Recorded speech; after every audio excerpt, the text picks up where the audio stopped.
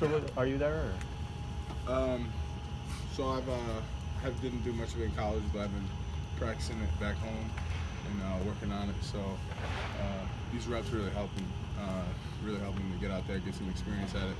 You've been working with Kevin. You talked a lot about versatility. How much do you pride yourself in being medically kind of play wherever? Uh, you know, that's definitely uh, you know an important uh, trait of mine. Definitely, uh, just to you know know what everyone's doing and everything. I just started in college, uh, playing at center. You have to know the whole offensive line, so you know it uh, it kind of grew on me over the years.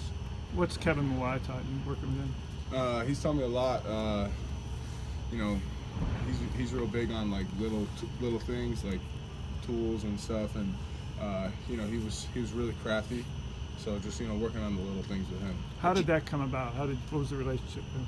So uh, when uh, Kevin was in Baton Rouge, he would train people on the side, uh, just do like online drills with him. You know, he would charge us. Uh, we'd go to the facility, just like once or twice a month in off season, and then he just got done with the Bears, so he's in Chicago. That's where I'm from, and he uh, he's just there living. So uh, I just asked him if he wanted to get some work in. Could you describe just the feeling